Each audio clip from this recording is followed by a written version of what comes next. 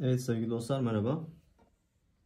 Size küçük bir anımsatıcı bilgi vermek istiyorum. Hüzzam makamı yerinden pozisyon segah perdesi üzerinden kurduğumuz hüzzam diziliminde unutmayın. Mi'lerden 3 tane mandal indiriyoruz. Bemol kısımdan. Fa'lardan da sağda 2 tane kalacak şekilde mandalımız mevcut. Yani ev iç perdesi. Unutmayın.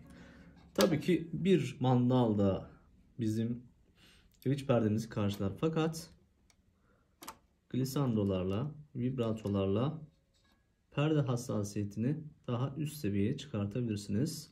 Makamı daha güzel bir duyuma eriştirebilirsiniz, ulaştırabilirsiniz arkadaşlar. O yüzden mi'mizden 3 tane bemol inecek. İç mandal inecek. Fa'dan da sağda iki tane kalacak şekilde diyez kullanımımız mevcut.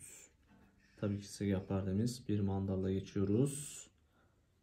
Ve kürdi perdemizde yani la diyezden de sağda bir tane kalacak şekilde ayarlıyoruz. İyi icralar arkadaşlar.